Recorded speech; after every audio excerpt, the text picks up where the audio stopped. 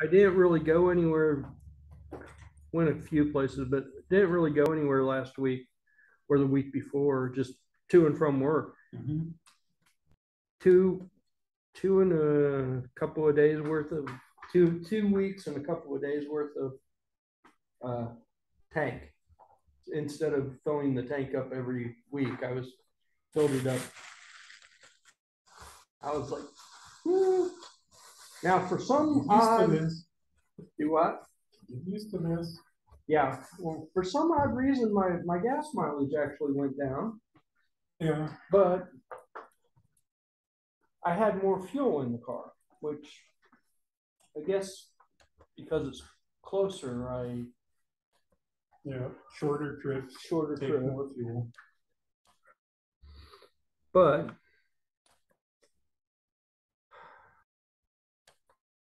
I was able to save money, which was part of the part of the thing, and I was like, okay, woohoo. Nope, wrong wrong camera. Oh, Art's sitting out in his backyard somewhere. Can't hear you, Art. Wait a second. Maybe it's me. No. Pretty loud.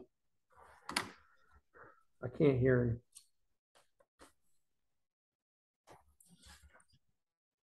sign in. I, it's, they're getting me. Killing me.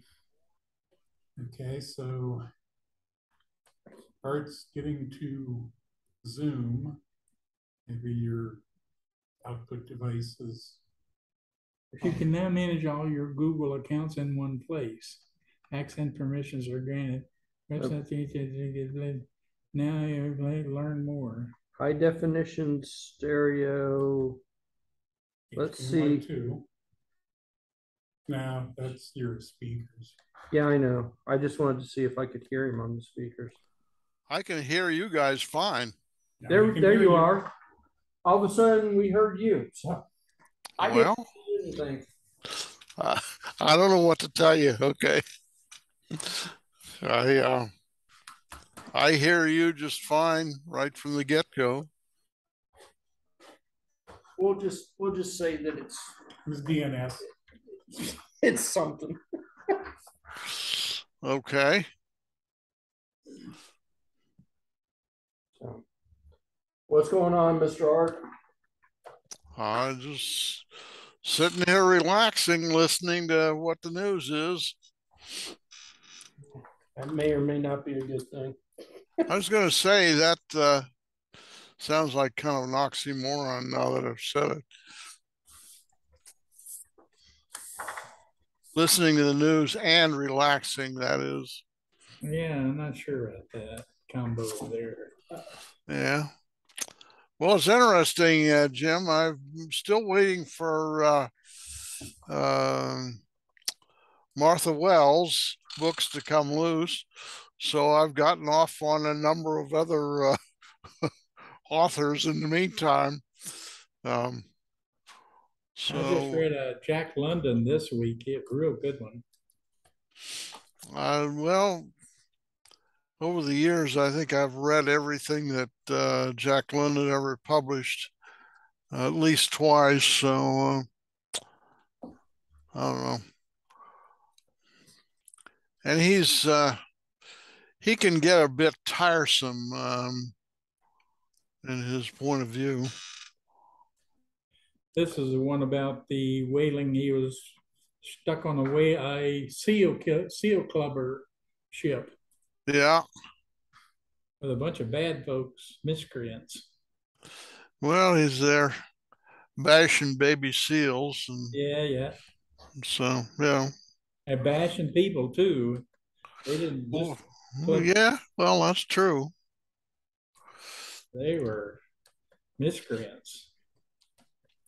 He was a pretty good writer. Like a lot of writers of that period, he started out as a journalist, and actually, he was a journalist all the time he was publishing as well. So he's from our neck of the woods out here. I think you probably know. It's San Francisco. They said he spent time in San Francisco. Well, primarily Oakland. Mm. People, people outside the area associate everything with San Francisco. In spite of the fact that they're rapidly becoming the third largest city in the area rather than the second. Behind uh, San Jose, which has been larger for many, many, many decades. And uh, Oakland is catching up, so. Any rate, he, uh, he, he was a pretty interesting guy. Definitely a journalist, hard drinker. Died at a relatively young age of kidney failure. Um, back in the days when they didn't do transplants and so forth and so on.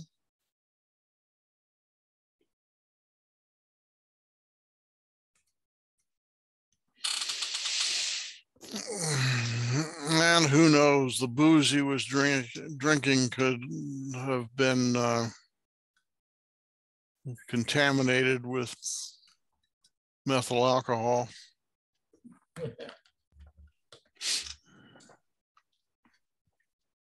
That is, that is entirely possible if he was uh, around prohibition time. No, no, no, he was dead. Jack London died in 2000. 19, 19 oh, that's right. Yeah, that's right. Nineteen forty or something, wasn't it? No, no, no, 1914. That- Oh, that- okay. That's one of the book that, the book that I read was written in nineteen fourteen. Yeah, but not 1940. 1940, he was decades in the ground at that oh, point. Really? Oh, yeah. Hmm. He was a very popular author at the time. He had a style, a, a macho style, not uh, terribly different from Hemingway. Uh, and that was very popular in those days. Any rate, so as I say, I'm waking, wait, waiting for my in my queue for Martha Wells, and uh, I think I've read four or five books since then that uh, happen to be available in the library, and so uh, Yeah, I'm, I'm loaded up on uh, books on hold. I, I freed up a couple, but I stay, I stay full, fully loaded on books on hold. well, you can you can put how many on hold, like a dozen or so. It's a bunch, uh, probably like twenty, but uh, then I go to, then you got the, uh, your, uh, the other list, your list, wish list. If you can't, Yeah. well, then you wish list them. And then you go through all the holes and then you have to go to the wish list and then you go for the search and then you go through collections. That collections thing is not bad. Yeah, I just finished, uh, well, I'm still reading my last Kathy Wells, number four, Kathy Wells or Martha Wells. Martha Wells, yeah, whatever. Yeah, uh, Jack died in uh, 1916. Yeah, 16, yeah, okay. He Died the year after my dad, uh, two years after my dad was born.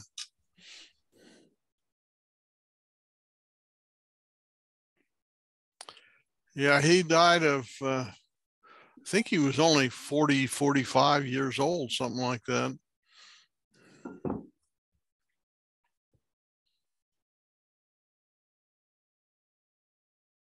I don't know.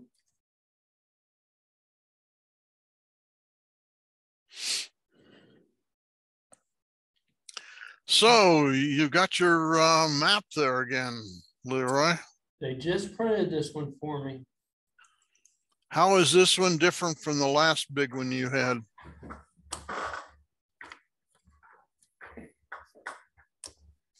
The ArUco tags are printed right on it. Oh, okay. So they can't. Get off of there. Go away, go away. Nope, ain't gonna happen. Cause uh, I, I broke down. I finally said, yes, I'm going to print this because this thing kept pushing the uh, cards. the, the cards off. So I just said, okay. we'll Okay, try- We'll try this. And it's only fourteen bucks, so, yeah, that, uh, that printing deal is, uh, is really a great deal. Uh, yeah, I imagine the media is probably a good portion of that. Uh, I- that's all they really charge you for, really. I mean, So, uh, so they most of, the- charge you- uh, They charge you two dollar, uh, this is the fifty-four inch roll, only it's three foot, I didn't use everything I could. But they charge you two dollars per linear foot. And I guess that includes the cost of the ink and everything, but they say it's two dollars linear foot based on the material you're using, uh-huh. so. Is that in the, that, the one you've got there is all monochrome, I assume, right? No, there's actually color in there. It's, it, I didn't use a lot of color. There's some color there and On that corner. in that corner and over here, there's some red. Well, the watermark looks like it's got some color in it too. It does. Yep. Yeah, the, the, uh, that's the robot that I figured out how to. I figured out how to make a layer and drop it behind the grid, which was cool. I was learning how to make, how to use Inkscape. So. Um, But no, there, there was no, there's no difference in the cost of color or whatever. It's two dollars a linear foot. Hmm. How long does it take to do? I don't know. I submitted the print job yesterday. I got the email about two hours later that said it was done to come and pick it up, and I said, okay. So I would imagine that a print like this is probably pretty quick because there's, there isn't a whole lot of color. It- It's, Um, no, it takes the same amount of time. It's a color printer. It's inkjet, right? yeah, I thought it was inkjet. it, So it's just a time to move the pen around then. yeah, it, it's a, it's a, it's a fairly fast printer though. Mhm. Yeah, that was probably less than twenty minutes, maybe as quick as fifteen. So now, does that ink smear at all or is that pretty stable? Um. What they, when we took class years ago, they, they recommended leaving the, the print out. Uh, in the air, in the open for a couple of minutes. Just to Oh. give it, just to give it a chance to dry, but it's got a, uh. The print head has like a UV curing thingy that it passes over it with the ink and then it passes back over it with the UV light to cure the, to cure it. So it should be fairly stable. So the UV just stabilizes, doesn't develop it, it stabilizes it. Correct. Okay, What kind of computer did you get, Steve? This is a Maestro Evolve Three. This one was an open box. This is a thirty dollar laptop. Yeah. I got two of them. They were on Windows on? It came with Windows ten Oh, okay. educational version on it, which I'd never heard Huh. of, and it never got a chance to be. Um, Well, that doesn't surprise me. Thirty bucks, get rid of Windows, it's gone. Yeah, I, I don't see how they can sell the Windows license for that much, much less toss in a laptop. Education, they're trying to get in the educational biz. Yeah, but it runs Mint pretty well. It'll do uh, Zoom meetings. We'll do Chrome. Yeah, I've got Chrome installed. Oh, It- cool. It runs pretty well. I've had thirty-five Okay. tabs open, Chromebook. Will it? probably. I don't know. Yeah. I've never installed Android on anything. It's Chrome Flex now or whatever they Oh. call Okay, Well, What's the regular price on? sixty dollars at Micro Center. it? Wow, It says it's got an MSRP of hundred and twenty, wow, wow, they give them away. It would, it went on, limit five per person. it went on sale right before school started. And it looked like it was probably a closeout kind of deal in the first place. But they were limiting them to five per person for sixty bucks a piece. And he just happened to get lucky and find two open boxes. Yeah. Oh, they had like twelve of them. I, in retrospect, I wish I'd gotten more. Yeah, Um, cause like, you know, if I, I've lost thirty dollars on accident before, so if I leave this thing in a hotel room, whatever. Uh, That's, And that's of the how I feel about like the Baofeng radio. They're twenty-five bucks. If Yeah. you, if you drop it off the ceiling of a forty-story building, who cares? It's twenty-five bucks. Yeah. One of the things I think is really cool about this, it comes with a uh, cell receiver in it. I oh, can put a, uh, I'm gonna try it. I'm, I think I can SIM put a card mint in tag you in it, mint SIM card, Yeah. and I think it'll work. It shows up. I put in one that hadn't been activated yet, one of the, try this for a week, but I couldn't activate it on here. But everything I've said, seen says that once you activate it, you can swap it, and it should just work. I may put the one out of my phone in here. How could you use that as a phone It, it, and Bluetooth? it? it won't It does have Bluetooth, but it doesn't have the software to dial. it, it won't be a phone. You do that for the, the data. So you have the internet wherever. Here's Chrome phone. probably, yeah. Yeah, I've got a Chrome phone number, Google phone number, Google Voice. And that should work fine.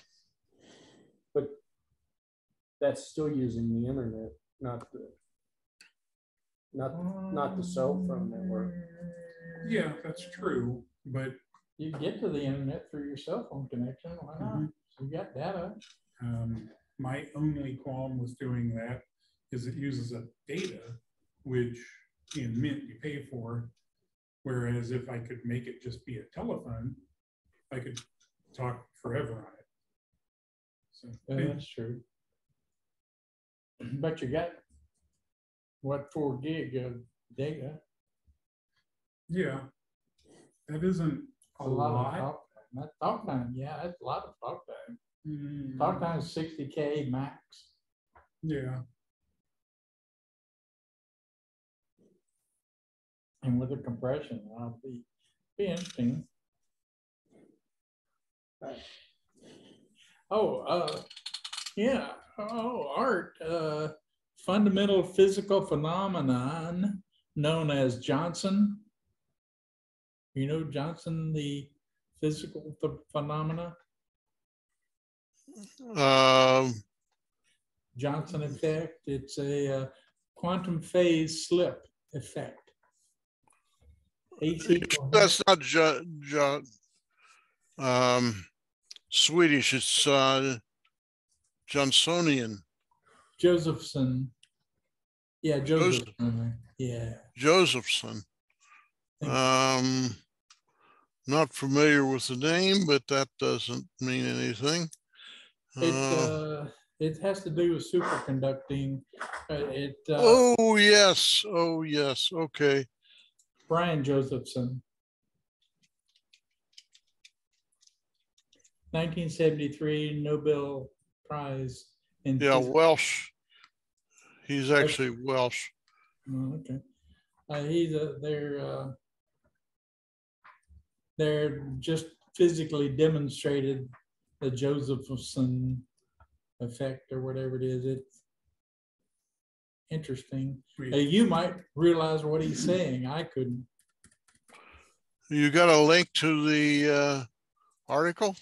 Yep. In the meeting announcement. Okay, let me find that. Tu. Is this the Josephson Junction thing? Yeah, yeah. Generate electricity from heat, if I remember. Oh, yes, yes, yes, I remember that. That was that was like in the sixties, seventies, I think.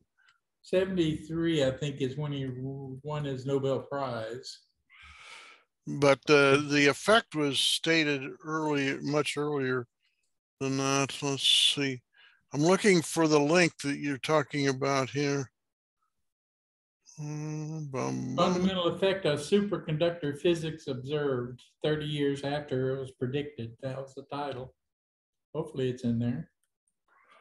Um, I'm looking, I'm looking. I just used the link and maybe I did copy. I, I thought it was in there. Well, give me a minute here. The first one, do you have August twenty-fourth? Uh, I see it, I see it. Okay, better you being insane than me. Well, uh, Already been by that today. I just was uh, taking a while to find it.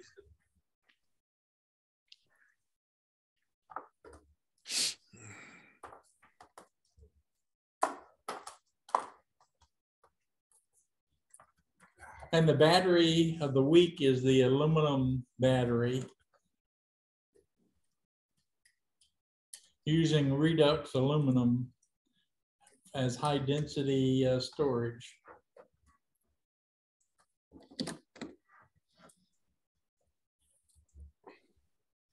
For seasonal energy storage.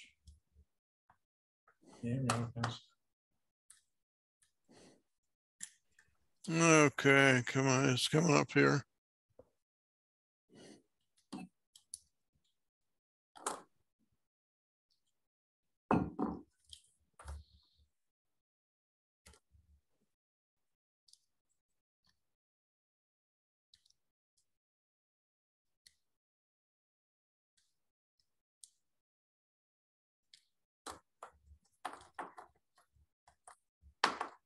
Okay, cool. How many USB cables do you have, Steve? On me, just one. Yeah, I don't believe you about that.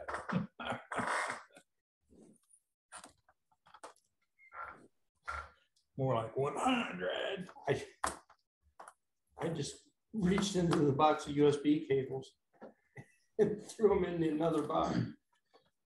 I've got multiple storage locations for them. It's bad. Yeah, I've got like four or five boxes full.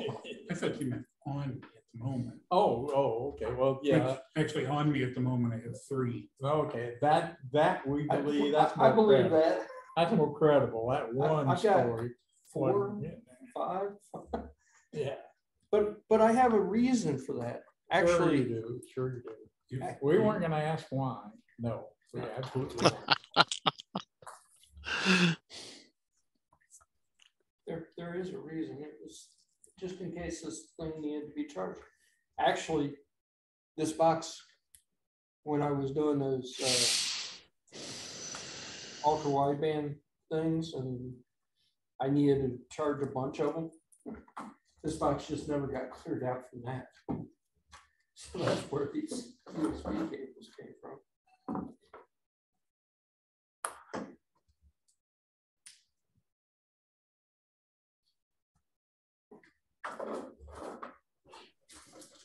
That is, uh, what was the drawback to this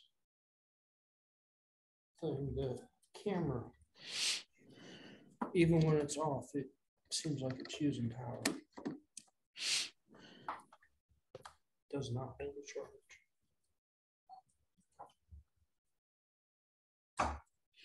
So it's got some leakage someplace or what? I think it's the way it was designed. This is the first generation camera that they came up with. And it had some, it had some interesting issues.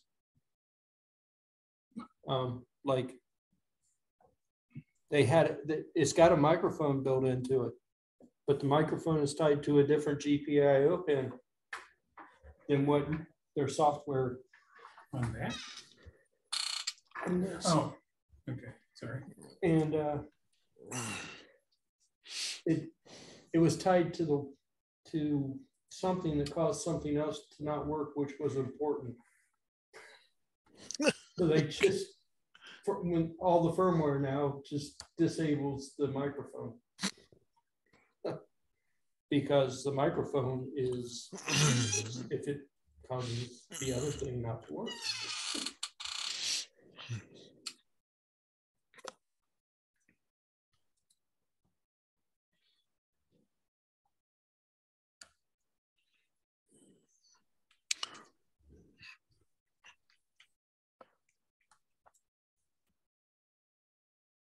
do not like, not like this to the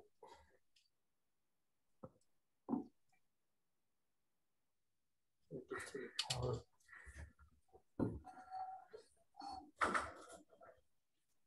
You know, you need,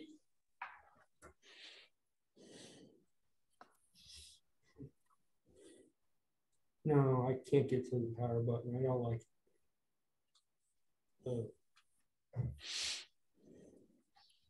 thing that I put on there to cause it to keep it from being front heavy is right in the way of the power button. You Just need a fish weight. Uh, I do.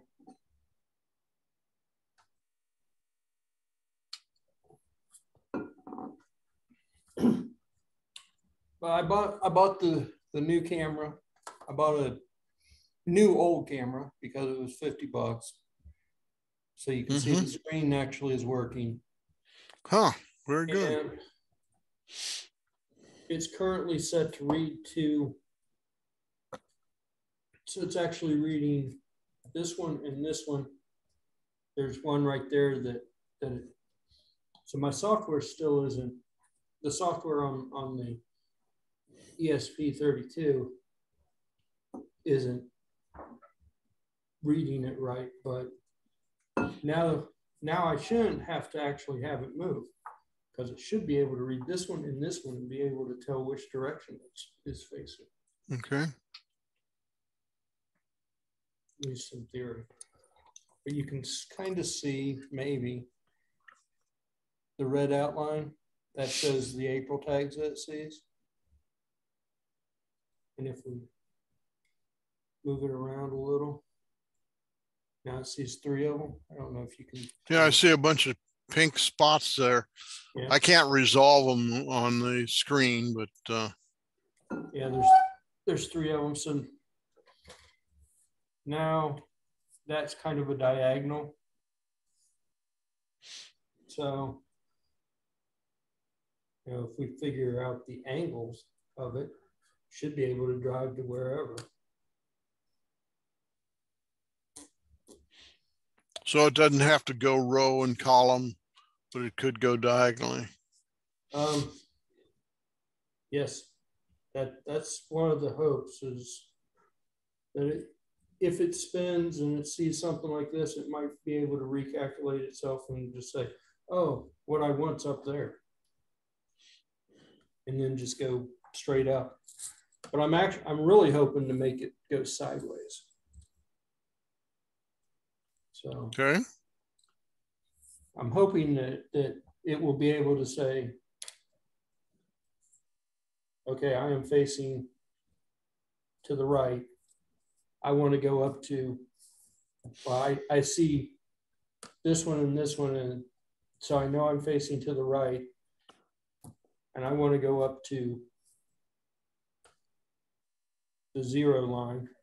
So it hopefully we could just decide to slide up here. And then it's going, still gonna need to figure out how to get to like zero, zero or zero, one or whatever, but hopefully it can slide. Hopefully that's what I'm trying to do. Ray's here. If I let Ray in, if I pay attention,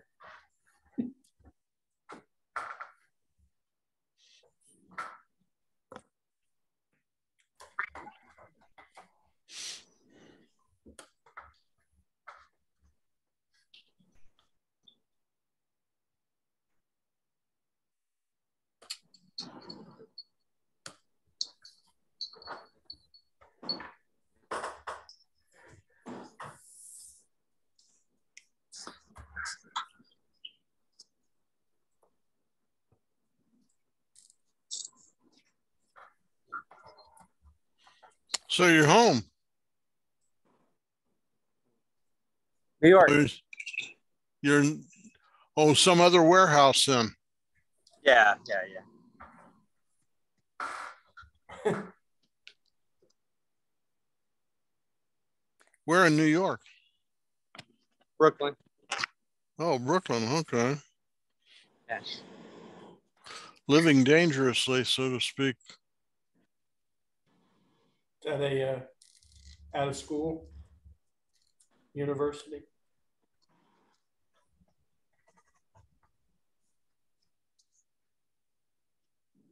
Looks like a makerspace, or the starts of a makerspace.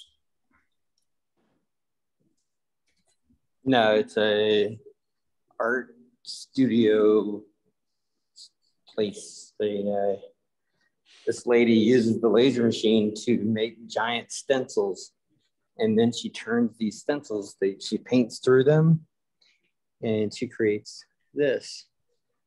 Oh, And uh, these things are like nine feet by 10 feet.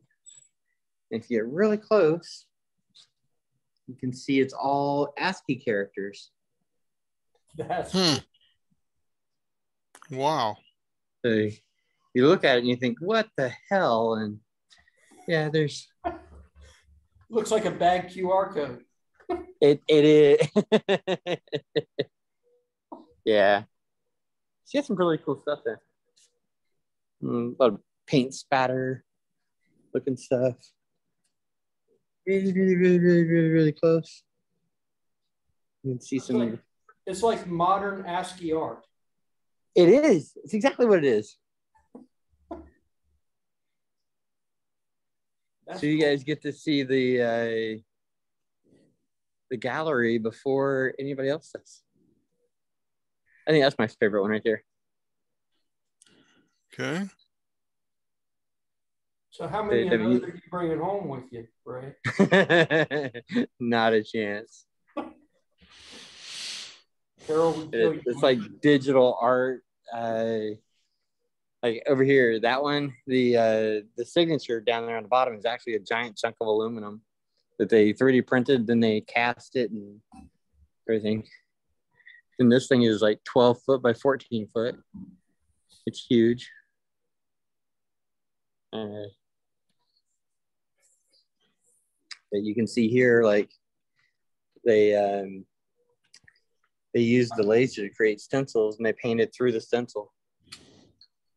Wow, And here's her big art studio. it's actually kind of. She splatters art. She's a she's a modern day Jackson Pollock.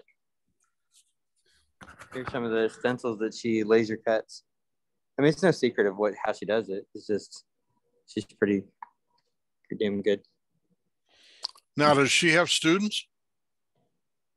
She has uh, what I would call underlings. I don't know. She she has uh, people that work with her, um, kind of like long term. Um, So they're like they're like minions. they're, they're not exactly minions. They they do lasering for her. They do their own artwork. So they're kind of like interns. They're kind of like interns, yeah, but they're a lot more qualified. yeah, we have month, day, year, you know, That's kind of cool. you back out and yeah. I don't want to touch that one because it might cost me my year's salary. So Uh, just just settle with another laser cutter. It, it'll be all right. Yeah, right. that would be Ray's salary. So next thing, so you're there to repair a laser or to install a laser or what? I like that one up there too. The green one, the black one. Um, we installed a laser machine a month or so ago, and um, it's just not performing up to my desires. So I'm I'm just trying to make it work better and better. So So is this the first laser she owns or she owned other yeah, this lasers? is this is like her fourth, their fourth one. They had some smaller ones, and then they um, upgraded. Decided they really liked it, and then they got two three foot by four foot ones. And then they're like, um, those just aren't big enough because we want to do big art. So they decided to switch to these machines that are um, effectively these two. They are 80 watt, um, 1.6 meters by 0.9 meters. So they are uh, almost 36 inches by like 61 inches, something like that.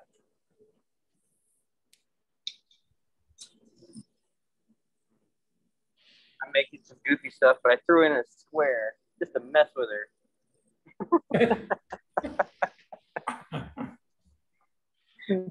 I'll see that on a painting somewhere and be like, yeah, that's me. I did that. Find, find the hidden square. Yeah, it's like, where's Waldo? But here's the there's a square in there somewhere. How good are your eyes?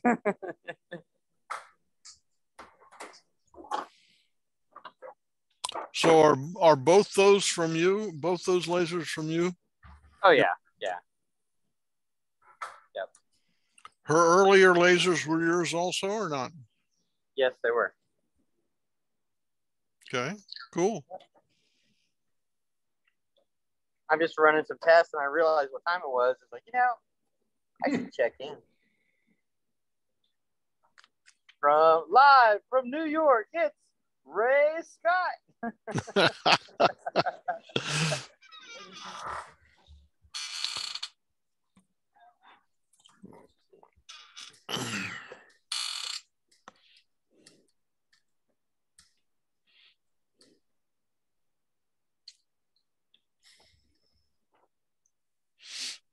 What do you got going there? It looks like we got a Leroy's back at the same trick. Do what? So it looks like Leroy's back there playing the same trick.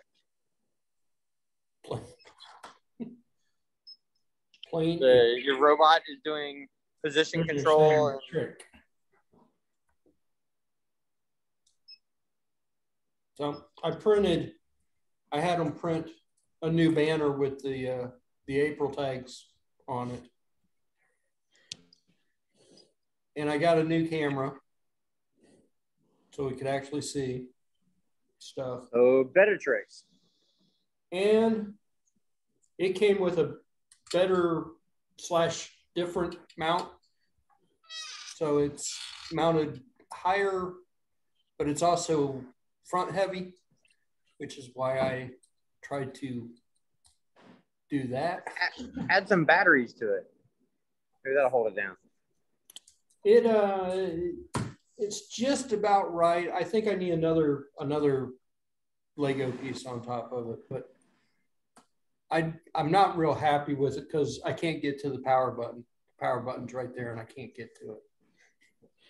So I gotta do something with it anyway. I was actually thinking with this particular mount, sticking an April tag on the robot itself from the top and just sticking this in the center looking down. Having a having a uh, another ESP 32 up in the air, having the two talk to each other and doing that. But I don't know. I haven't even made it work once yet. So. How close does it come? Um, so at the at, at home, it seemed like it was working fine, and then of course I get it down here, and it goes in the opposite direction from what I want. So, but yeah, I mean that that makes sense, right? Um, Hmm. I I don't know. I because because I had those cards laid out, it kept pushing the cards around. So I think that was causing some some issues. Now that I have a thing that that it can't push around, I'm hopefully I'll get it working better. But when I brought it down here, see, it should have said with the other camera, it had the other camera on it, but it should have gone, saw this one and moved forward and saw this one and said that it was facing west. But it said, sometimes it would say south and sometimes it would say north. And it never did that at the house. It, it was fine at the house. But I really noticed the problem when it was facing this direction and saw this tag, which means it had to turn to its left. And it saw this tag, which means it had to turn again. And when it saw this tag, it thought it was facing south. And that's where I saw the biggest, the biggest problem. So Who's telling you where it started? yeah, instead of where where it's actually facing. But now that I have this camera mounted the way I have this camera and it can see two tags at once, it shouldn't have to move at all. It should just see this tag and this tag and go north.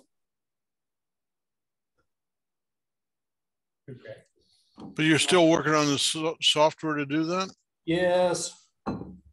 Now, because it won't see this tag until, unless it was sitting back here,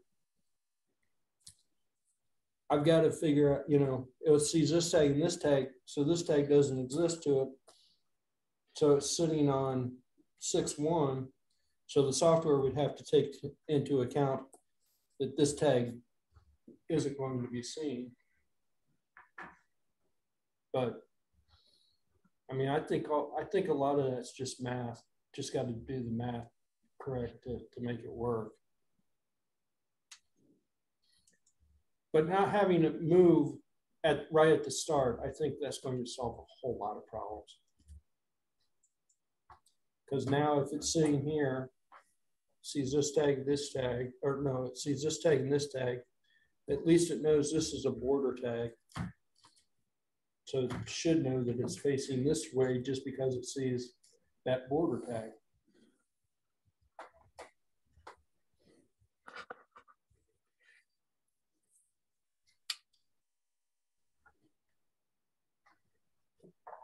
At least that's my theory and I'm sticking to it.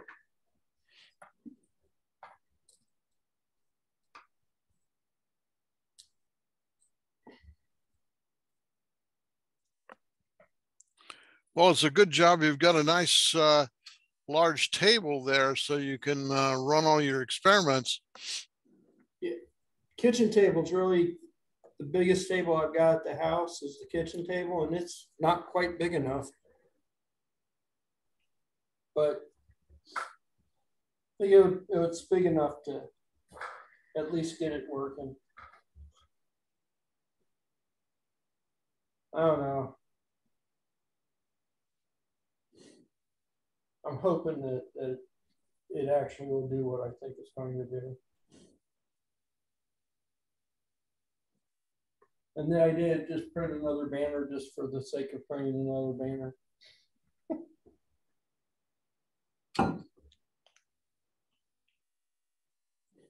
So Ray, what is the material you're cutting? Ray, Ray's on mute. okay. It must So you be, probably, probably can't hear me. it must be noisy over there. Hmm, maybe not. So Ray, Uh, sorry, I was on mute. Um, I was saying I don't know what the material is. I think it might be PETG. Um, PETG has been a really popular uh, plastic for doing stencils and face masks and other stuff. But um, it's there's so how, of how thick is it?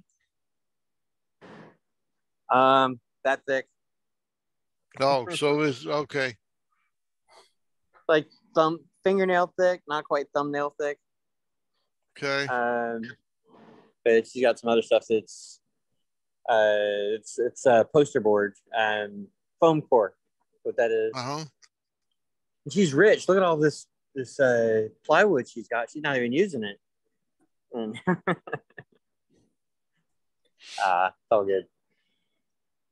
Yeah, she got some foam core, some cardboard, some uh, PETG, some some other fun stuff. The,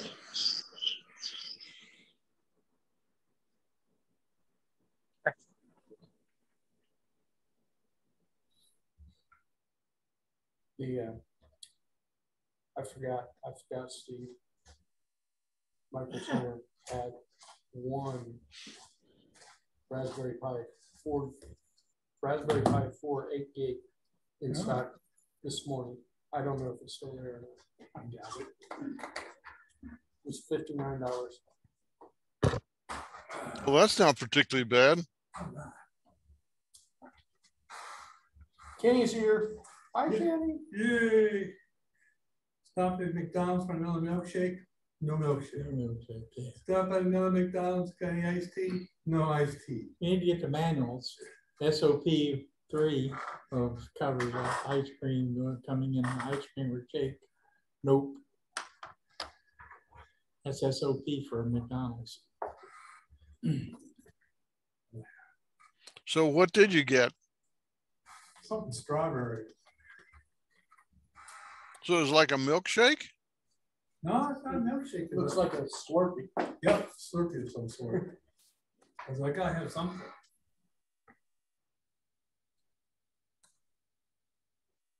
Cherry. Some kind of red fruit, huh? some red dye.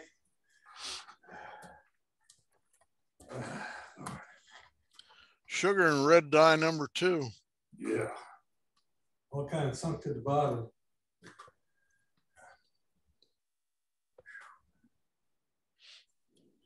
So I got a new twenty-five millimeter lens for one of my cameras Okay.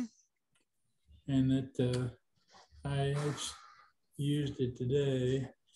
Post says disable participant screen sharing. Uh, it's probably because I never turned it on. That would help. I'll fix it, I'll fix it. Maybe, maybe I'll fix it.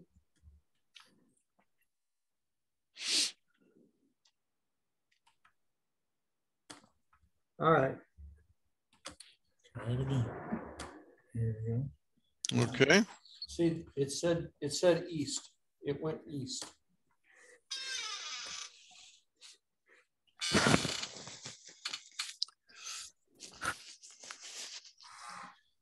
Oh. Boy, that is pretty good. Yeah, that's from a little over hundred foot. So yeah, uh, sixteen was a little too, West. a little too, twelve and sixteen is just not quite enough. And I push it and the only reason I'm able to use it is I can go to fifteen frames per second. Now with that uh, quad i seven. So you could almost identify the drivers that way. Yeah, yeah, it's, you can't see on that frame, but at the bottom, it, I could, you could read the, uh, you could read the name on the, the step. Step. Okay. Is the majority is coming one way or coming another way? Come, be either way, Either way? yeah. Running at fifteen frames per second with a twenty-five millimeter, I can get them. I, I, I could push it to twenty, I may try twenty, just for giggles. But I couldn't, five, six was, the old days, all I could do.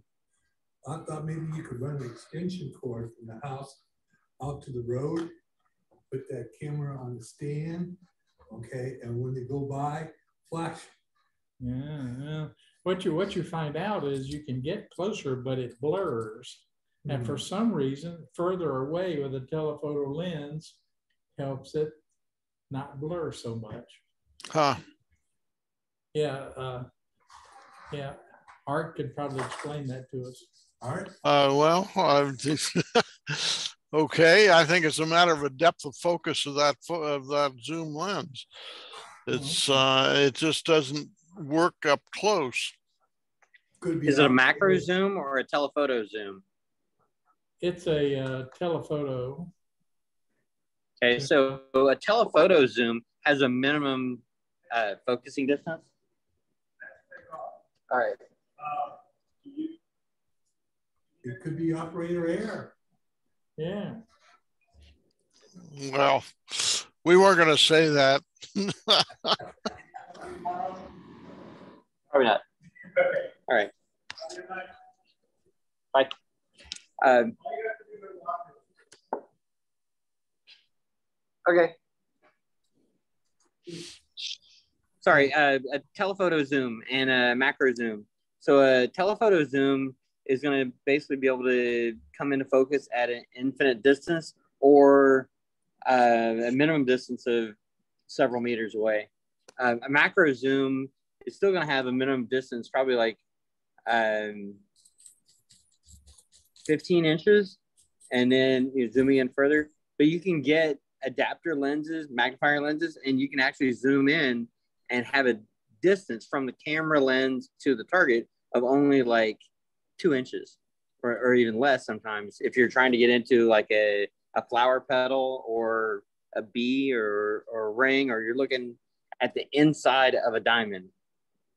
So if you have uh, macro um, zoom with uh, macro additional lenses uh, you can do that um, but if you're looking at telephoto yeah you're gonna have a minimum distance um, and then the better the camera lens, um, if it has an adjustable aperture, um, a lot of times they'll have like a 1.2 um, uh, f-stop, and you basically have to run that with a full open aperture with high speed shutter speeds, um, or else they just don't put anything into focus very well at all. I ran into that with some of my uh, photography Canon equipment. Um, even though it's supposed to be like a 1.2 to 4 f-stop, um, you have to run it at 1.2 and just run it fast um, because it even at 1.4, it just everything comes out fuzzy. This is the F2. Is this one an F2? Yeah. Okay. Well, that's not going to Not have bad. That's not going to have much of a depth of focus though, because your Depth of field. Yeah.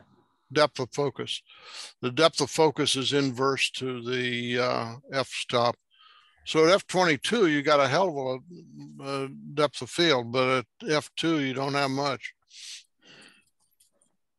Right. So is it working, Leroy? Um, no. And yes, Well, it's moving around. so if it, if it sees the border, it seems like that just messes the whole entire thing up. But if it, uh, is just anywhere in the grid, it's fine. Hmm. So right now, you know, it was facing north and it turned, it should, that, this should be east. It's saying that it's facing west, which is exactly one hundred degrees, one hundred and sixty degrees out, one hundred and eighty degrees out. Should be right, but seems like if it's just inside the grid and doesn't see the border,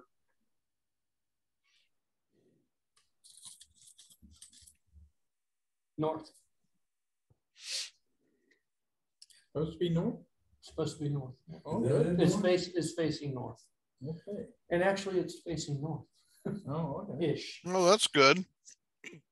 Cool. So it's just got east and west confused. No, it's, it's got, if it's, it, if it sees the border, any of the border markers, that just throws it for a loop. That is probably something, you know, you know, that's, that's probably my algorithm. My math probably was all funky or something. Can you adjust the field of view so that it doesn't, it's less likely to see the border? Um.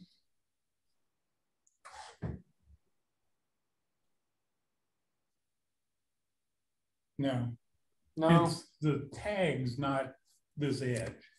the, these, these tags, 202, 203, 200, and 201 are all the border tags. So it's Oh, not, it's not the edge that it's seen, it's, it's the tags. okay. Um, I mean, I could write the software to, to just reject those tags altogether, but I wanted those tags so that it knew it was outside of the grid. Or that it was getting close to the grid. That's, that's one reason why I had this, this idea that if I stuck the camera above it, it might actually be better. Because it might be able to see the whole entire picture. Because the camera can read, it'll, it'll be able to read all, all 45, all 49 of these tags. So it's a seven by seven array of tags? Mm-hmm. Plus, plus, uh, Nine by nine minus four. yeah, it's nine by nine minus four.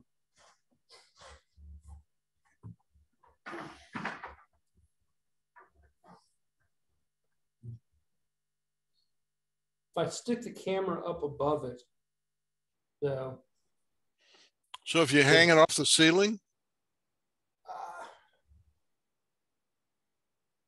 high enough where it could see all the tags, or at least all the tags inside the grid. Um, and then stick an ESP32 on that or some other wireless method on that. I think that would work. Doesn't it Bluetooth? The camera doesn't. no. Surprises me. No, that, that, that, that was one of the uh, things that this camera had problems.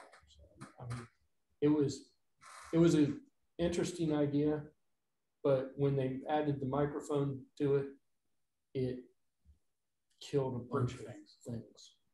And people started using, trying to use the microphone and it would shut other things off. Yeah. And it was there. locked in, it was locked in like the firmware.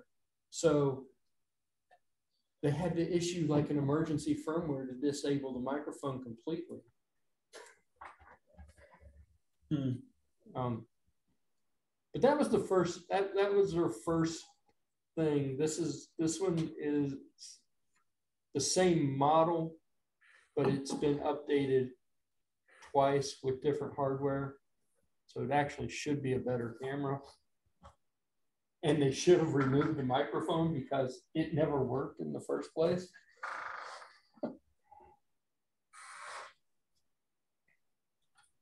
But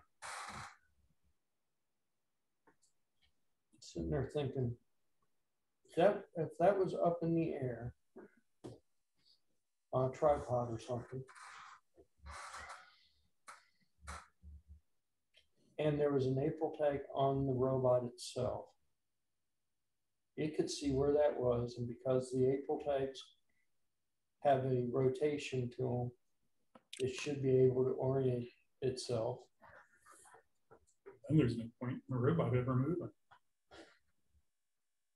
It knows where it is. It knows where it is.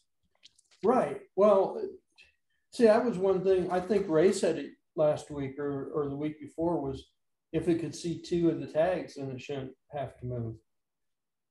So right now it can see at least two tags. It's actually seeing three tags right now. but it sees them obliquely. It doesn't see them straight down. Correct. But with the with it, it knows the tag number. It can see I can't it can see tag number three and tag number 10 where it's sitting at right now. So if I used software and said, oh, I see tag 10, I see tag three, I see tag 10 first, and then I see tag three because of the position of them. I should be able to figure out that it's facing north. And the Well, Are you sure that it is decoding the tag number properly? when it Yes. looks At them obliquely. Yes, yes. There's no doubt that it's, um, there's no doubt that it's reading the tag numbers correctly.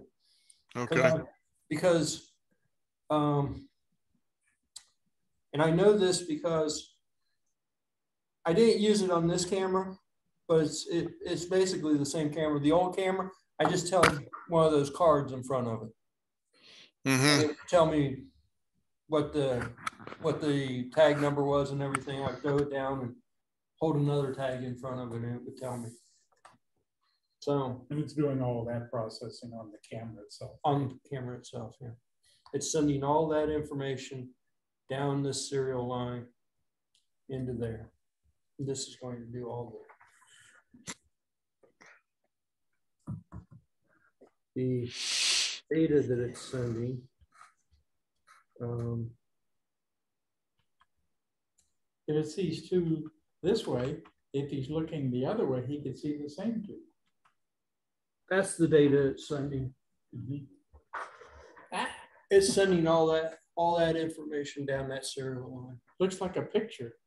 Kind I, of. I really want to. know So, so Zero is. So no those are- What good this is. those are JSON records? Yes. Yes. Um,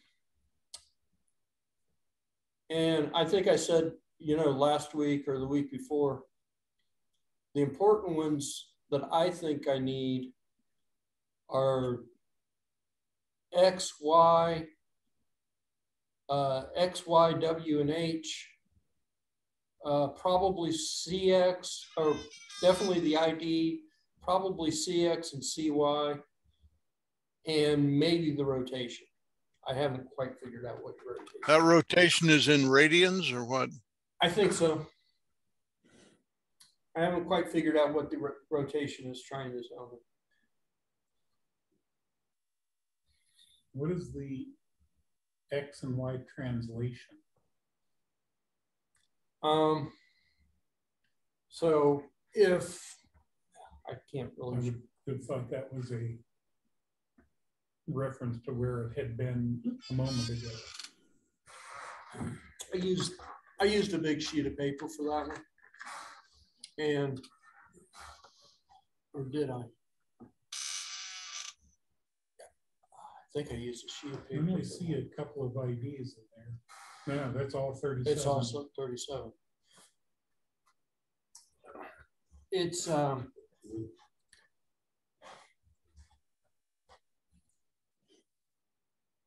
I have to find, find the one that I had where it had all the sheet of paper.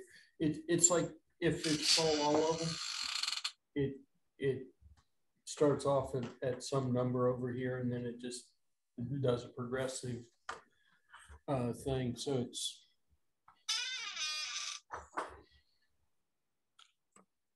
So the X changed a little, the Y did change just slightly.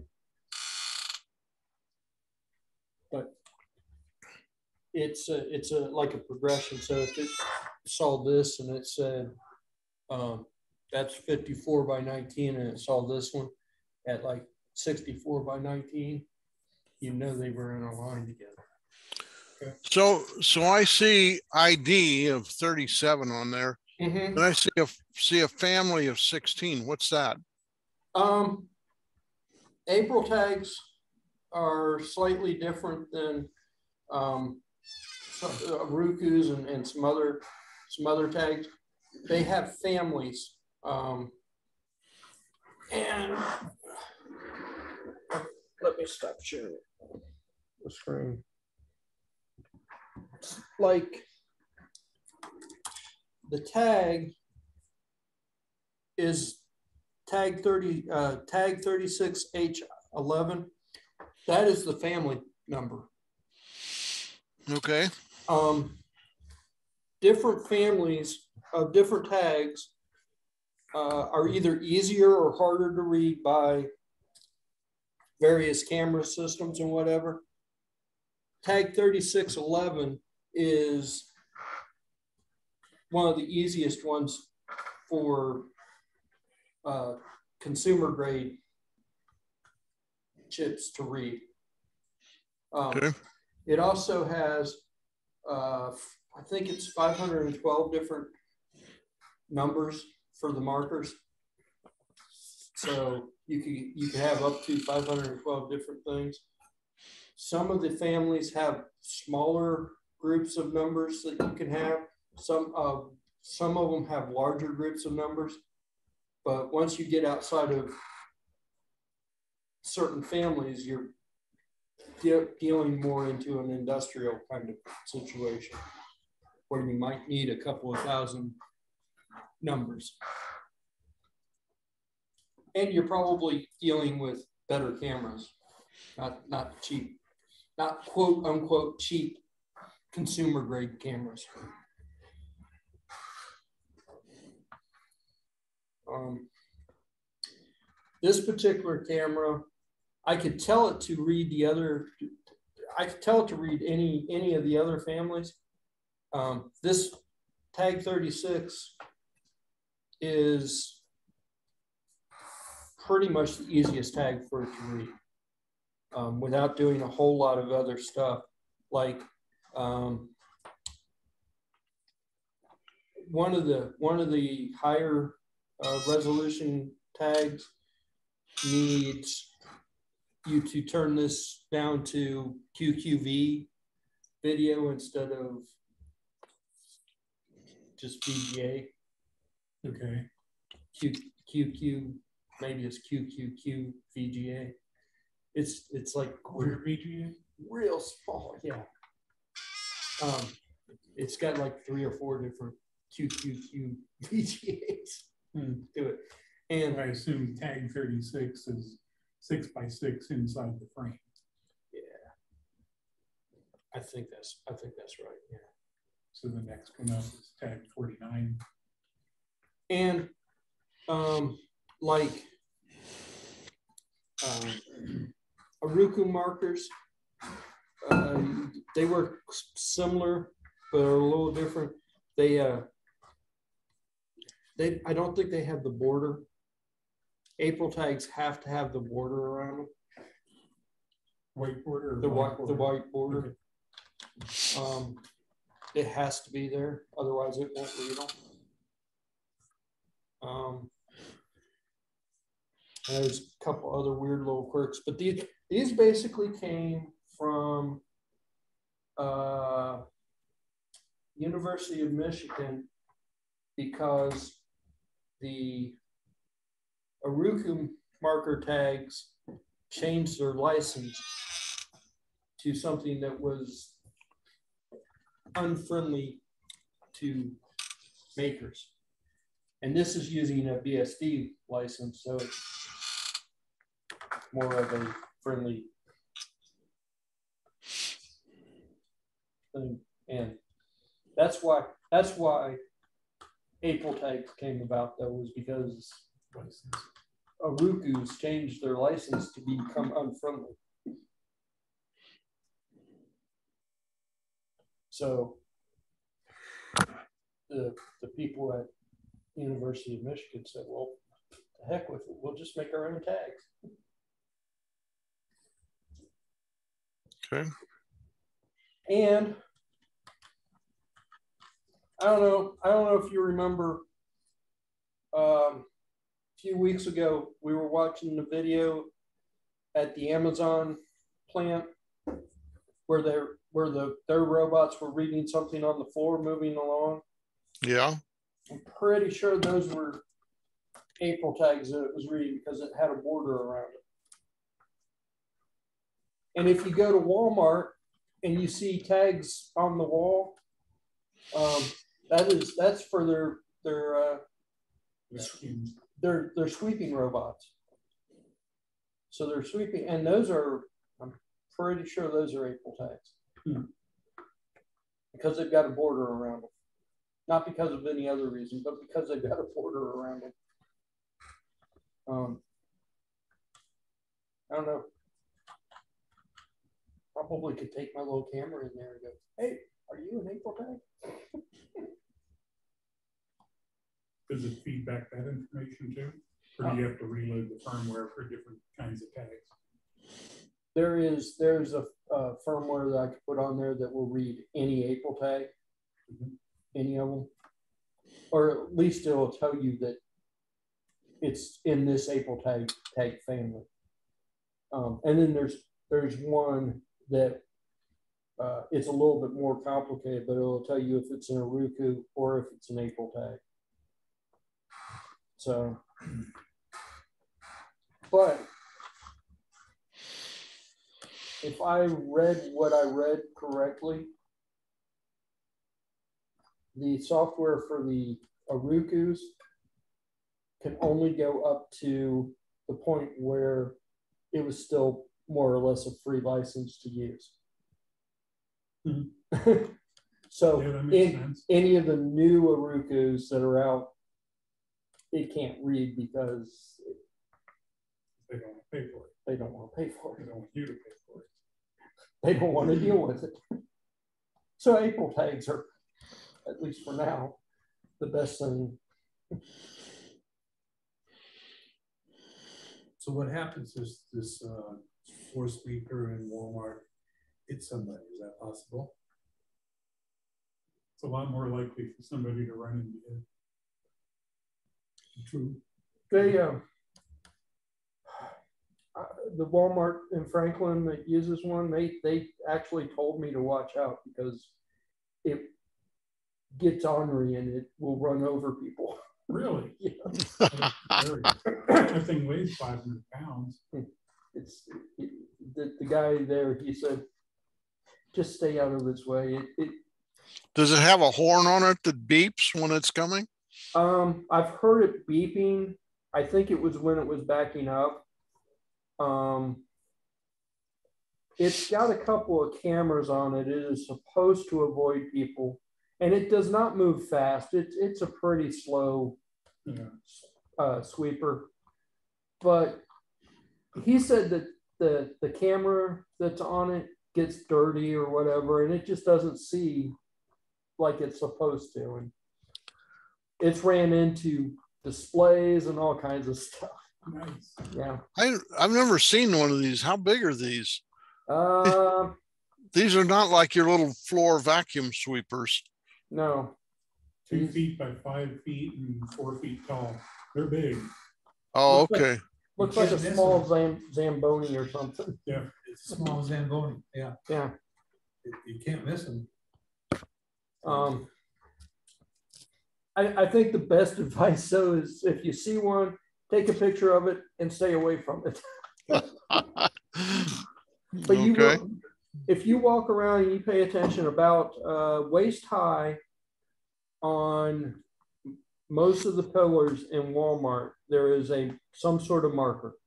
It's either an April tag or an ArUco or something. And just above, it will tell you the frame uh, and the location of, of, of that marker. And it's, I think it's just there specifically so the robot doesn't get lost. Now I can- So this is right above where the crash marks are on the post. Yeah, more or less. yeah, it, they're they're uh, usually about waist high because that's where the camera is in in those uh, thing in that sweeper thing is about waist high. Um, but you can't miss them. You, if you look if you look at the pillars, you can't miss them. They're there. Yeah. And uh, supposedly Sam's Club uses the same thing and Costco uses the same thing. So Do they, do they use it while there are people in the store or after hours? um, While people are in the store. Walmart uses it while people are there. Yeah. Some Okay. Walmarts are still open twenty-four hours. Um, Well, that varies from Walmart to Walmart, but I've seen them out moving around at three in the afternoon. Okay. Every Walmart, if you ask, if you ask one of the employees about it, they'll tell you what its name is, because every one of them has a different name, and usually it's not a, it's Not a nice name. name. Usually it's a um, rather bad name, Okay. but um,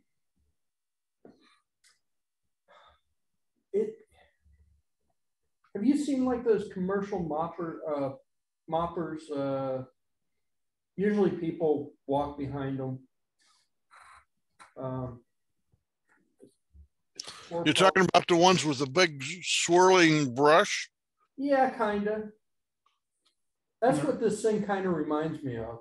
with a big curved rubber blade on the back to catch all the water it misses. Well, then they have the polishers, which are essentially dry except for the polish. That's that's what this thing kind of reminds me of, except that it it's more like a Zamboni. Somebody could actually sit on it and drive it. There, most of them have steering wheels. Ah.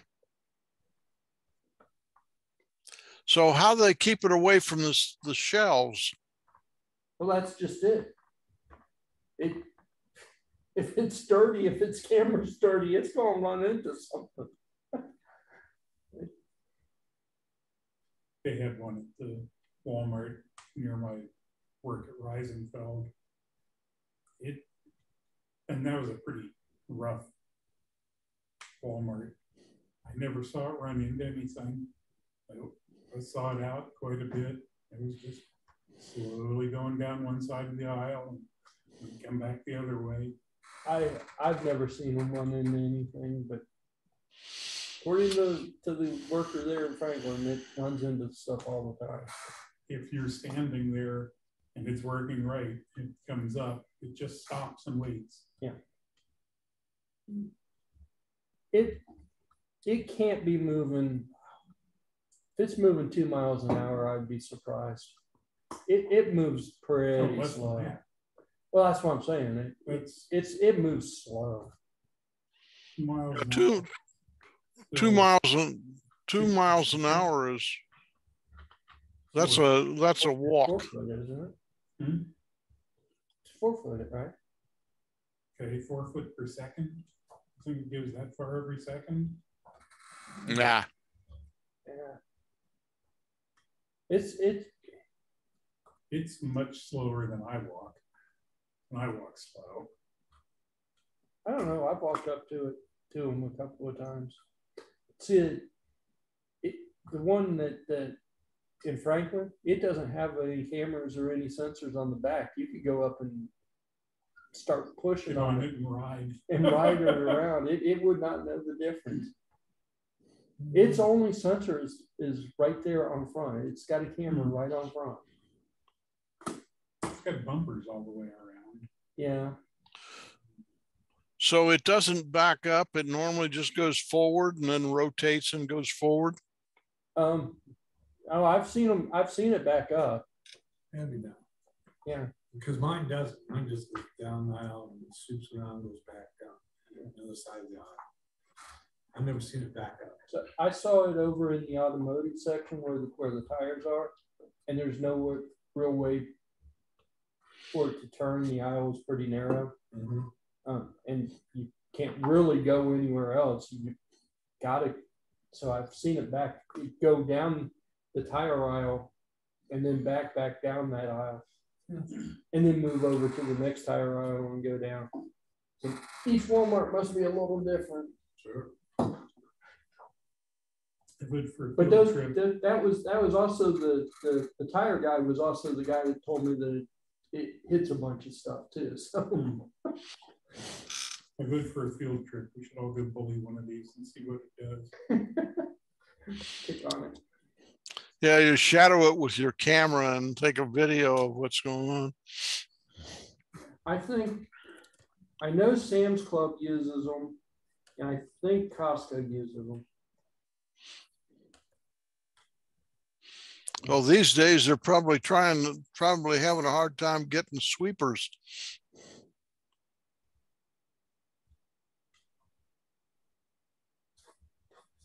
It's a lot of cameras. Oh, yeah. Yep. This is the four power, that'd be a twelve millimeter there. And this would be the twenty-five millimeter. The, where you really tell the difference is right there is a little uh, RG fifty-nine cable on the bottom of that post. Yeah.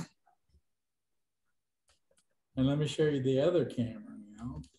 Oh, yeah, you- and Ma just drove by. And there's, Now, is the it- that's a full power camera. Is that the That's- cable coming to your house, Jim? That's across the street. That's a cable that's- across the street. Seventy-five feet away from the cameras. That's about hundred feet. And let's look at the other one again. And there it is. That's Oh, where the yeah. 29 millimeter. The other one, you can't even tell there's a cable there. Yeah, that's quite distinct. Yeah, that's a big difference. Yeah. Difference between twelve and twenty-five. How many frames per second is that now? Uh, the little one I'm running at uh, 15, and I think I can run it at 20. I, I might try it at 20. I, got, I, was, I was shocked I could get it. Usually I can't get it past like 10, but I, you know, I got that new quad i7, and it, it does scream. So the limitation is the computing power or the bandwidth or what? I'm not sure. That one I think is rated at 25. The camera's rated at 20 or 25. I think 25 frames per second. Uh, you can you can adjust the frame rate of that camera. Yeah, I'm not sure what the the claim frame rate is. The, that camera, the 25 millimeter is a it's a 920, it's a Sony chip, Mm-hmm. 20, 920p. 960, 960p. Yeah, it's a Sony. I don't know. They, they were good. They had nice crisp pictures. Pictures good. It's a, uh, I think that's like, uh, what is that? Two megapixel. Mm-hmm. Yeah. And, but with the, the lens, it doesn't make any difference. With the lens, doesn't matter. Yeah, Yeah, I got plenty of resolution there. Just need the lens and the lens does it. Oh, there comes somebody.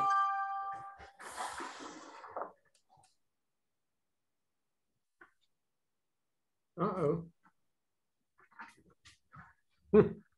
And that was not set to read the license plate. You absolutely could, no doubt.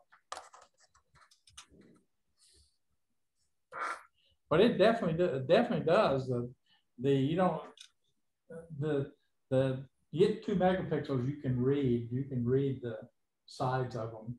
You just need to get the speed and. Oh, cool.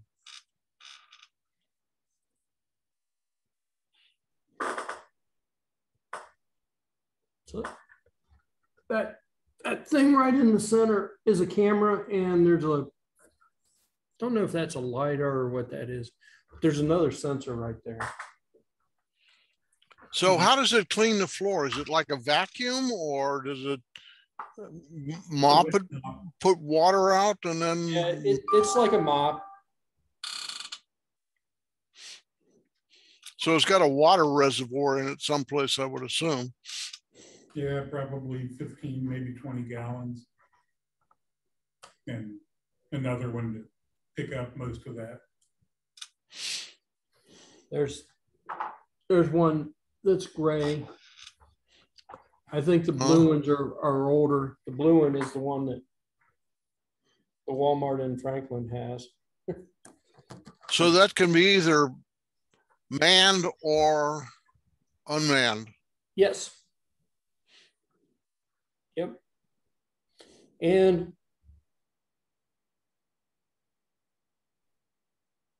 it's hard to see. Well, here's a picture of, of the guy riding it. So I wonder if it runs into more things with the guy riding it or with the robot. I, I can almost guarantee it does.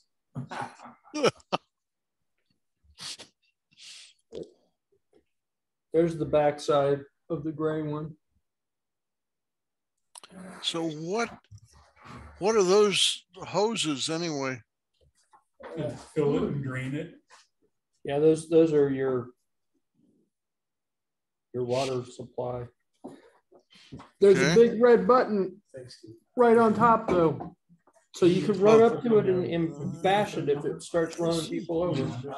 So that's the kill button, huh? That's the kill button. There's, there's actually, on the one. Take care, Ken. Take care. See ya. Later, glad you dropped by. On the one in Franklin, there's actually two kill buttons. There's one on the front and one on the back. And you can run up and hit it. The question is, does it have a dead man switch? No, So if the driver falls off of the thing, it's not like a motorcycle where you have a dead man switch. You basically, basically it just takes off. I, I, I, I've, I've seen these things for years. I've never ever seen anybody actually driving. yeah, I'd swear that the one down by Reisenfeld doesn't have a place for a person. See, the one in Franklin looks more like a Zamboni deal, not, not like that. It, it's got like, the seat is off to the side, it- Yeah, but it's there, it's, and it's blue, it's, uh, it's an old one. It, it looks like a Zamboni thing. maybe they retrofit a man one. Couldn't be hard, With the camera yeah, and the throttle control or whatever. the electronics package for that, is gonna fit in a shoebox. And it's already got all the batteries and everything. Uh, The one, I, I- I swear the one in, in Franklin doesn't have any kind of sensors on the backside either. It, it does have the kill switch back there, but it doesn't have anything else. They're So what, about- are- huh? they're talking about putting those mini satellites around the moon now. Like the. Oh, yeah. satellites. Oh, yeah, that's interesting. Supposed to be, supposed to be ten or twelve of them, I think.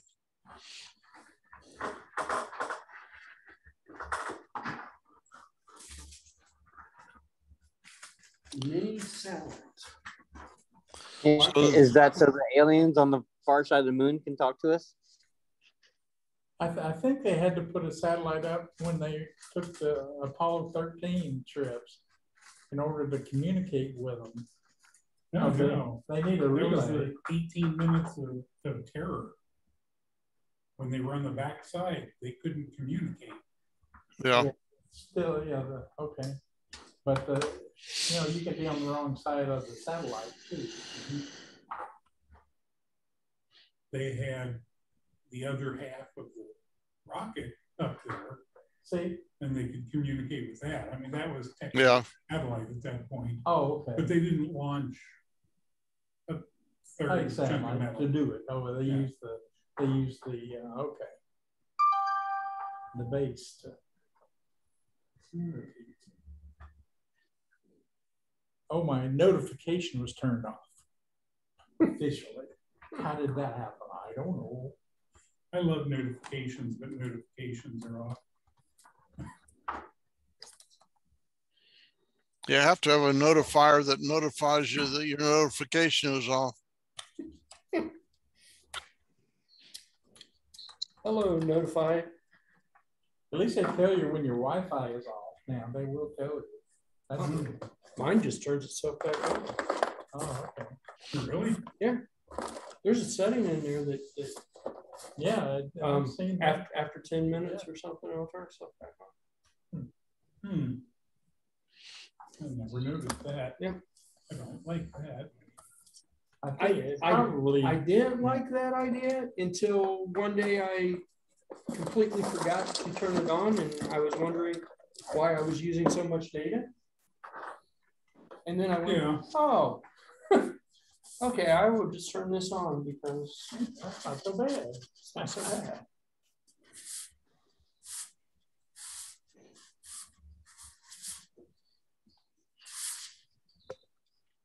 So it doesn't count data when you're using a Wi-Fi, when you're connected to Wi-Fi? Right. right. Is, I s- assume you got an unlimited plan and most of the home plans are unlimited.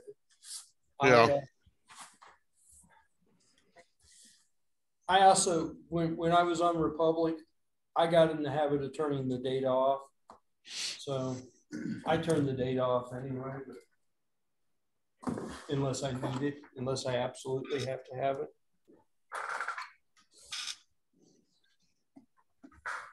I use this thing more than I wish I did.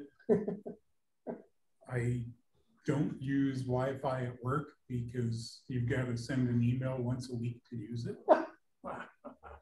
And I have four days left in my my data collection here, and I've used 1.19 gigs.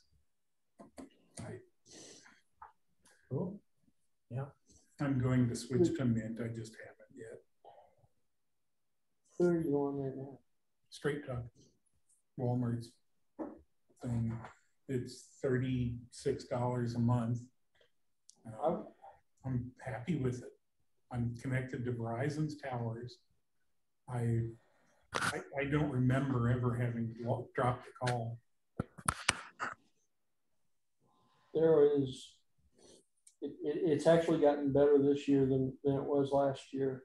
But there's a small dead spot right near the grandkids' school. And I can make phone calls there. I just don't have data. It's, it's the weirdest Yeah. thing. But this year, uh, for whatever reason, I only found one small little area on their ground that doesn't have data, where last year it was most of their school ground was without data. I'm- they I'm put in a new tower? I don't know. I don't know if they just uh, upgrade the service better or if, if it's a different tower or what they did, but there's still there's still one little area that, that's a dead zone, but I can live with that. I mean, it is what it is. I know Marla has had T-Mobile, and every time we'd go out to see her kids, we'd go through College Corner, and there was about a two-mile spot there where it dropped.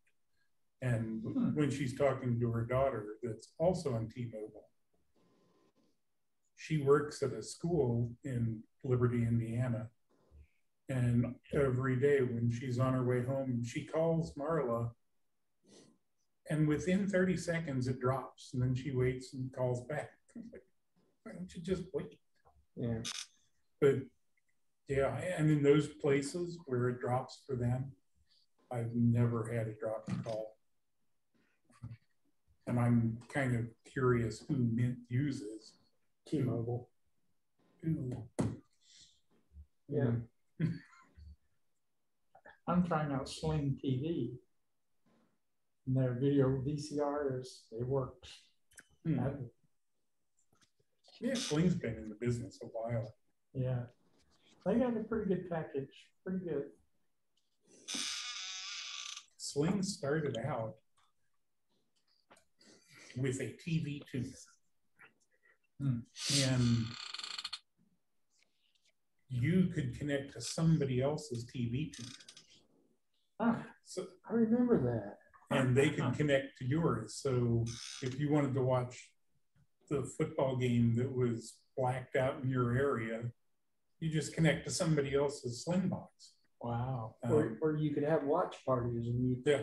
could sit there and watch the same show together. yeah, they got sued into oblivion. Oh, on that. sure. Yeah, I was, I was gonna say, hey, that ain't gonna lie. Don't mess with the NFL. Yeah. Hey guys, I got a good one for you. So um, yesterday, Carol and I were kind of freaking out because we got some crazy charges on the PayPal account. And just, I hadn't ordered anything from Circuit Specialist for over a year. And I, I, I like this website called circuitspecialist.com. And I bought tools and you know, electronics and you know oscilloscope, various stuff. Um, but we got a got a charge all of a sudden, and it was less than ten dollars, but still, it's like, what the heck happened? Who who cracked my password, and why am I getting charges from this crazy weird company? I haven't talked to them for over a year. So um, after like three emails back and forth, tracking down the ID code for the transaction ID and stuff over PayPal, we found out that it's where I placed an order 15 months ago at Circuit Specialists, and they didn't have one item in stock. so they put it on back order, and 15 months later decided I'm not joking. 15 months later decided, hey, it just came into inventory we'll go ahead and charge Mr. Scott for the part and for shipping, and we'll go ahead and send it to him. But they didn't send me any kind of email. The description in PayPal didn't say what the part was or nothing. It just said um, pre approved authorized payment. that was nice of them, though. They, at least they sent you your part. Well, no, no, they, they, it hasn't been shipped yet. So they just made a charge, and I was like, "What the heck is this for?" That that should not happen. Yeah, fifteen months later. Yeah. So is this is it still something you need? No, but I'll take it. I, I had bought something from my, I think it was DigiKey, and it said it was in stock when I bought it, and two days later, I got an email that said, We're sorry, this is out of stock. We can either uh, refund your money, refund your payment, or put it on back order for you. And I just, I said, refund and got my money, no problem. About, I don't know, it was probably two or three weeks later, I get an email from them and said, Hey, it's back in stock. We're going to charge your card. like, no. Two or three weeks. At least they gave you notice that said, "Hey, do you want to buy this, or we we think you want to charge your card?" But 15 months later, yeah, yeah. I, I agree. That's a little ridiculous. I was like, "What the hell, guys?" But oh, I was like, "Hey, I, I had assumed, I had assumed that when they gave me my money back, that the order had been canceled, and apparently the order wasn't canceled. It was just moved to a back order situation.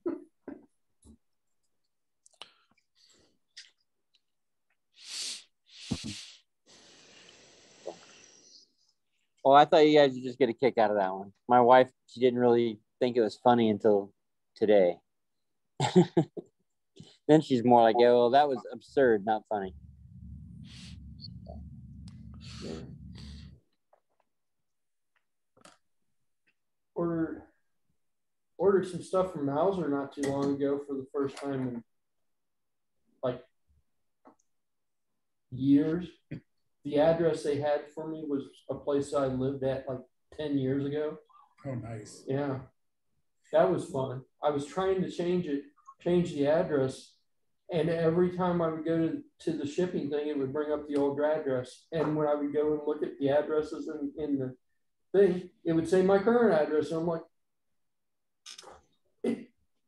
this address has been deleted. Why is it still showing up? this is the address we're going to ship to. No. If you ship it to, to somewhere in Hamilton, then somebody else will be getting my stuff. I toys. I want my toys. Finally got that that resolved. That one was basically I had to uh, log out mm-hmm. of the system and log back in for to figure out that, that I had made a change.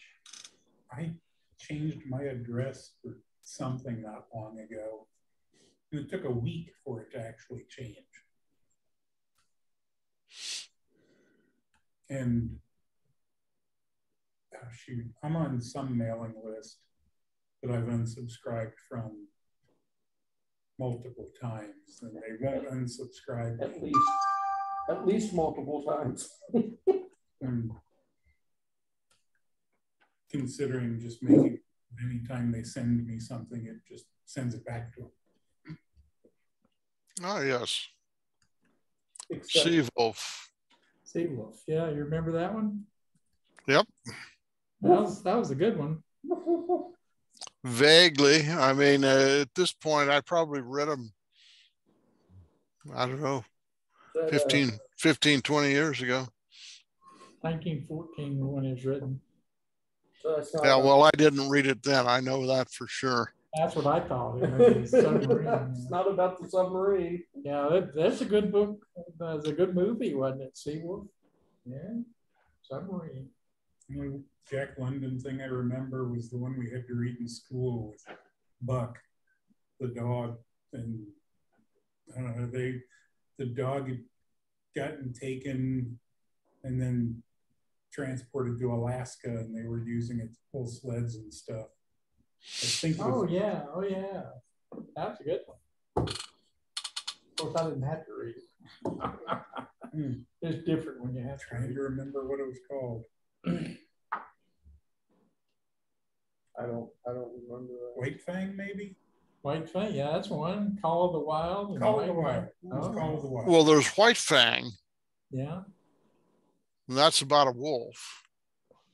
Um, Yeah, that one we read as a short story. I think it was a much abridged version in Open Highways. yeah, it would have had to have been because that was a full length novel.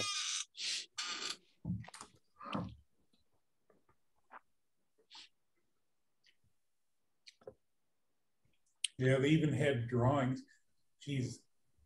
Okay, in Open Highways, it was toward the middle of the book, and they they had a drawing of after they had captured White Fang, and they've got a stick in its mouth with a rope tied behind its head, and the guy is holding it like this, paws down. Damn. Weird stuff I remember.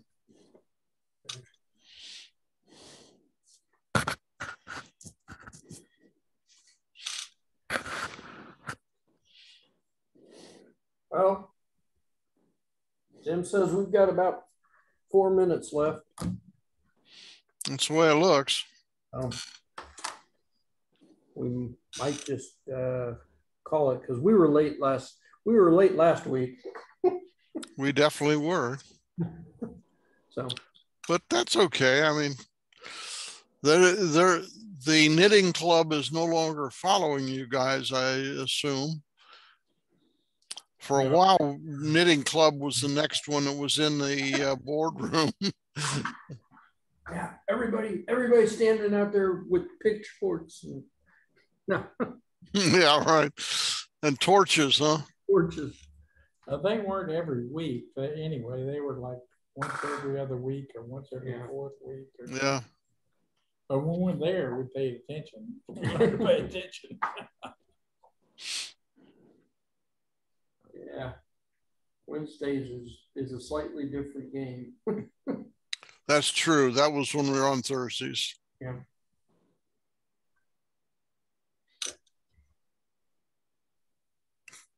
I assume that some of those clubs have probably dropped off.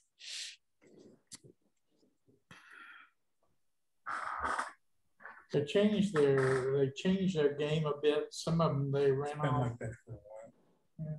Oh, that's interesting. Huh. Might be because of those four updates that are available. I doubt it.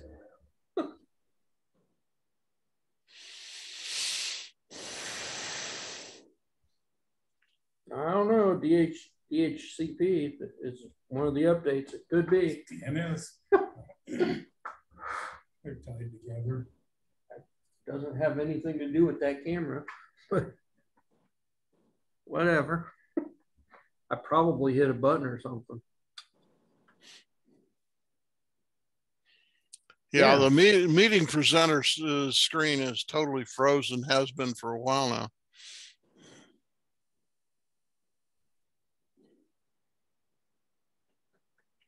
There we go. Sort of. And back. It somehow or another it switched to the HP, the internal camera, Mhm. but Hmm. it didn't actually switch.